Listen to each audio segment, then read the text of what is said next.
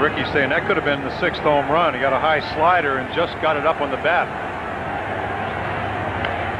Lansford chops one, and Oberkfell can't get it, and that'll score a run as Blankenship comes in, or Weiss comes in, and it's juggled by Mitchell, and another run scores as Blankenship crosses the plate following Weiss, and the A's add two more and lead it 11 to 3. And for Lansford, his third hit, he has a single, a walk, a home run, and now a chopping base hit. Outstanding base running by Lance Blankenship. Going to third, making Mitchell hurry on the throw, and because Blankenship went to third, he's allowed to come home because it's the second error of the game against the Giants. A single, it's one run batted in, it's an error on Mitchell.